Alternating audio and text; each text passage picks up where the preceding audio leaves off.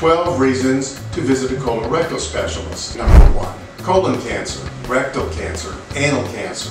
Who diagnoses these? We do. Reason number two is a checkup. Number three, anal itching.